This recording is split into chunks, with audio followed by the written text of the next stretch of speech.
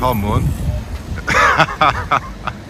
We're here on some serious business. Yes. You're seeing it right, people, but today I was in Cobham attending an open training session. So in the video, I'm going to let you guys know exactly what I observed, what's went down, and how my day went visiting Cobham today. So my friends, I hope you guys enjoyed today's video. Make sure to hit that like button as well too. Share your thoughts and opinions. But before we get into anything, today's video was brought to you by Parimatch UK. How would you guys like to win a £50 free bet? This season, Parimatch UK have launched their new, completely free-to-play football prediction game called Hat-trick Hunt. This means that every single week you will get the opportunity to predict three scores from the Premier League with three rewards for each correct prediction that you get right. And you want to try and get all three correct because if you do so, you will be rewarded with a £50 free bet. That's how it works, my friends. So as you guys can see on screen, these are my scoreline predictions for this week.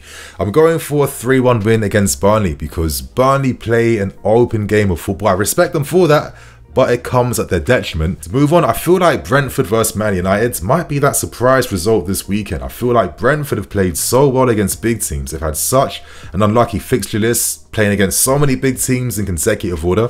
I feel like they're owed a point right now.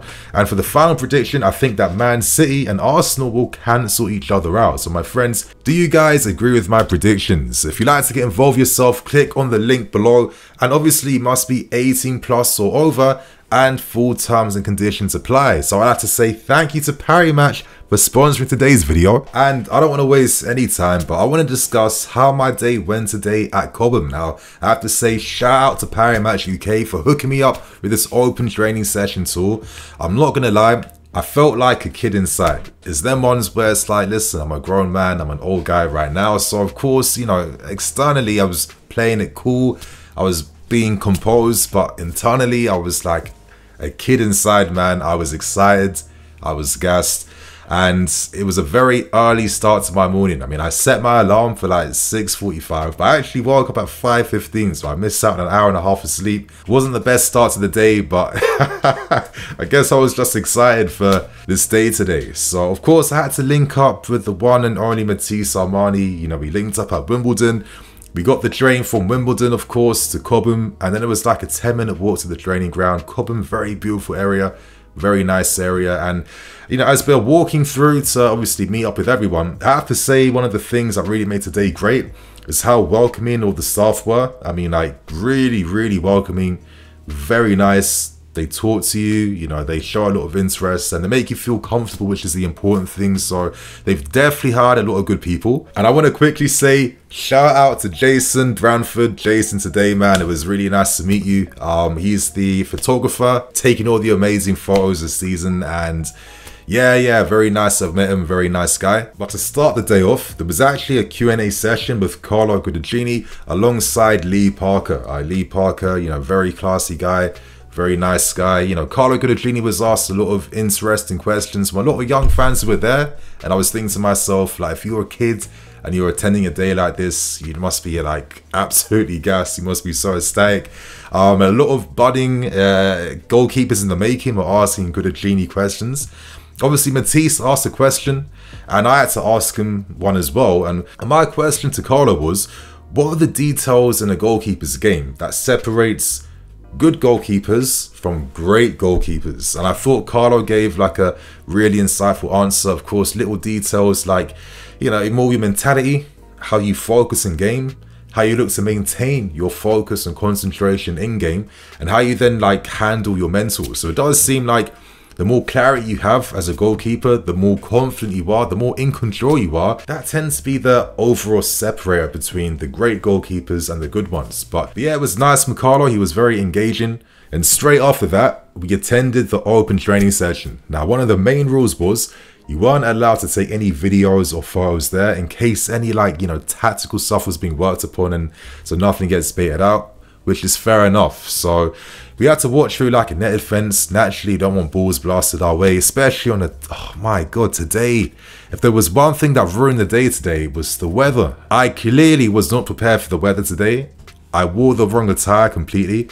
This morning, though, it was sunny, it was bright, so I've, I actually even brought sunglasses with me, thinking, okay, this is exactly how I'm envisioning this day to be if I'm going to go to Cobham. So obviously, yeah, reality hit me straight in the face. So I guess it was no surprise to see all the players in their snoods, you know, all like, you know, long sleeves, all protected against very nasty weather today. And they started things off by doing light training drills. So that was involving like, of course, warm-ups, a lot of like rondos at the start.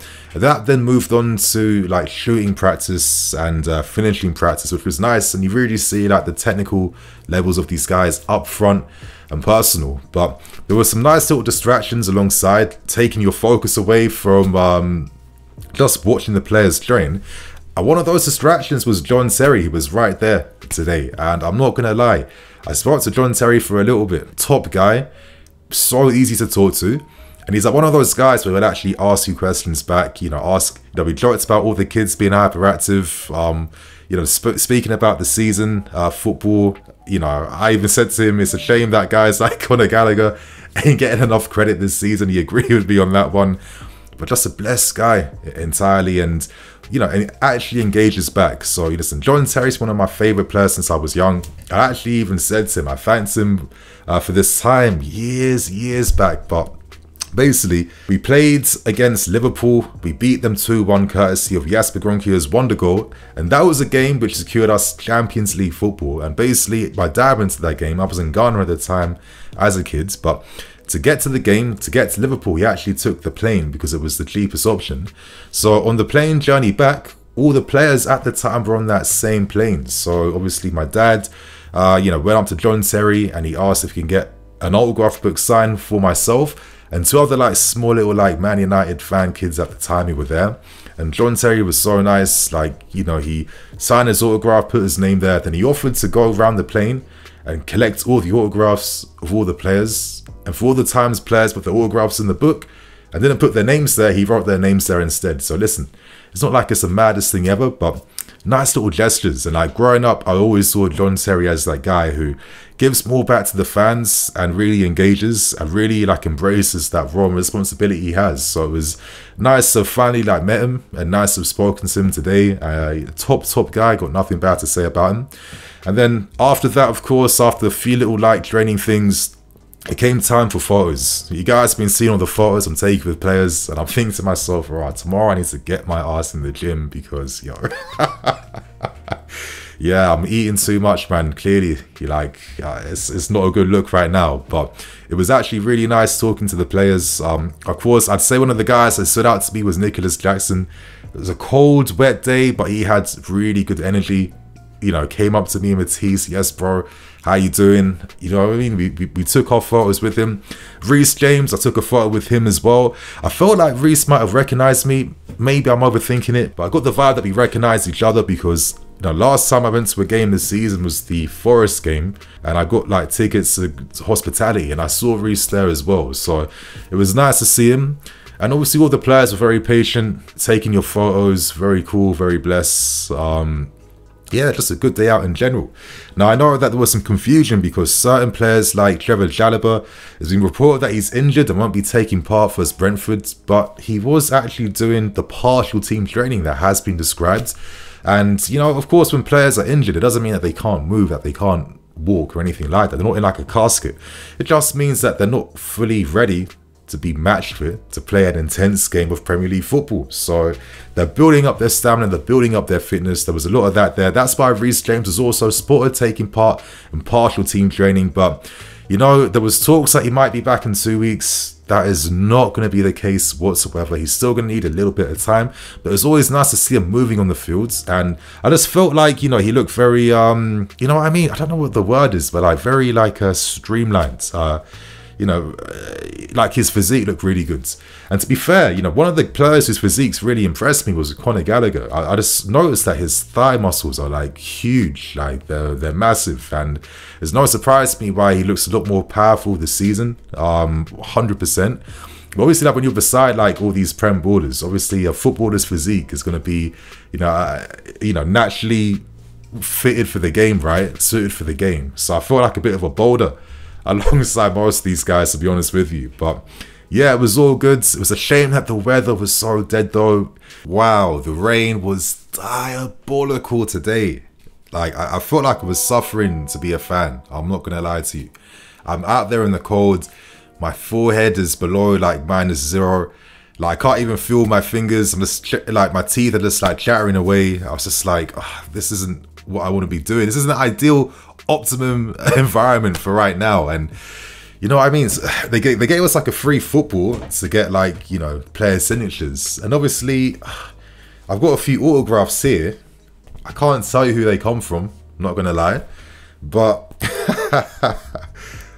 it was raining, right? So players are trying to like put their autographs on the ball, and it's not working with the marker pen. Trying my best using my big jacket to create a little like force field barrier against the rain. Just looking like an absolute beg, to be honest with you. And um, yeah, it didn't really work out high I envisioned, but I guess it's my fault for not bringing my spare home shirt and getting that sign. I just wasn't thinking at all. So hopefully another time in the future, Parimatch wanna hook me up. You know, I'll most definitely be there. Hopefully during the summertime when Portugal's got the barbecue on, you know what I mean? So that's how my day went today. Um, like I said, very gassed to been there. Um, not actually my first time at Cobham.